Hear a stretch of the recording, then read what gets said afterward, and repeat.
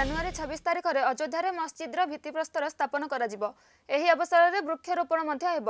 ପାଞ୍ଚ ଏକର ଜମିର ମାଟି ପରୀକ୍ଷା ପ୍ରକ୍ରିୟା ଜାନୁଆରୀ ତେଇଶ ତାରିଖରୁ ଆରମ୍ଭ ହେବ। ଇଣ୍ଡୋ ଇସଲାମିକ ସଂସ୍କୃତି ଫାଉଣ୍ଡେସନର ସଚିବ ଅତହର ହୁସେନ କହିଛନ୍ତି ଯେ ସକାଳ ସାଢ଼େ ଆଠଟା ସମୟରେ ମସଜିଦ୍ ପ୍ରକଳ୍ପର ପାଞ୍ଚ ଏକର ଜମିରେ ଜାତୀୟ ପତାକା ଉତ୍ତୋଳନ କରାଯିବ।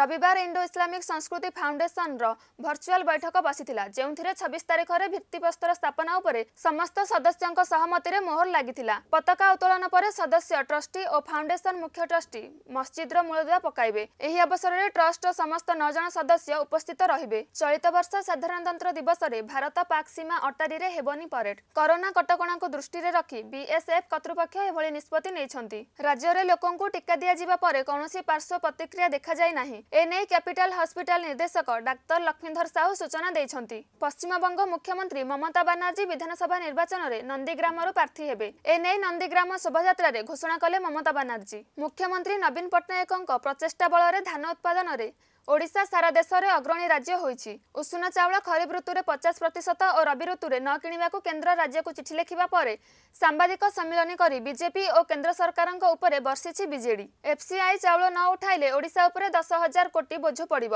ଚଳିତ ବର୍ଷ ପଇଁତିରିଶ ଲକ୍ଷ ମେଟ୍ରିକ୍ ଟନ୍ ଧାନ ସଂଗ୍ରହ ହୋଇଛି। ଆଉ ତିରିଶ ଲକ୍ଷ ମେଟ୍ରିକ୍ ଟନ୍ ଧାନ ସଂଗ୍ରହ କରାଯିବ। ସେପ୍ଟେମ୍ବର କୋଡ଼ିଏ ସୁଦ୍ଧା ବକେୟା ଦୁଇ ହଜାର ଆଠଶହ ପଚାଶ କୋଟି ଟଙ୍କା ଏଯାଏଁ କେନ୍ଦ୍ର ଦେଇନି।